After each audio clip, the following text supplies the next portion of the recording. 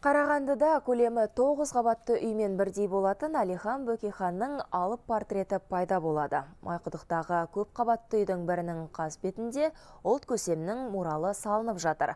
Осылайша қазақтың мемлекеттік саяси және қоғам қайраткері Алаш партиясы жетекшісінің жарқын келбеті былтыр ғана өзінің аты берілген ауданның сәнді жері болып шыға келді. Жоба авторлары картинаны барынша жарқын әрі қанық түспен бояуға тырысқан. Бұл Алихан аңсаған елді ендігі болашағы жарқын болады деген нышан. Күн райы жайлы болса, туынды алдағы бірер күнде аяқталады.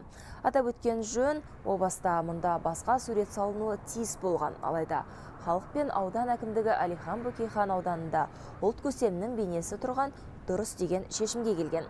Сурет салынған 9 қабатты үйдің тұрғындары да 100% қолдаған. Начала майқұдука мы э, решили что бұл майқұдықтың көзге бірден түсетін жері. Сондықтан мурал осы жерге жақсы келеді.